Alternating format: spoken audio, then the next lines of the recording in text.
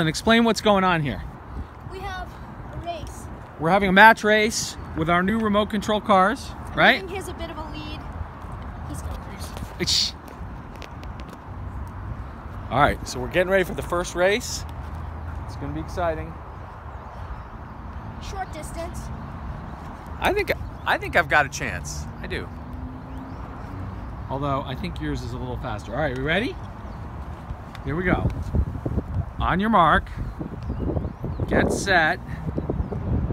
Go. Oh man.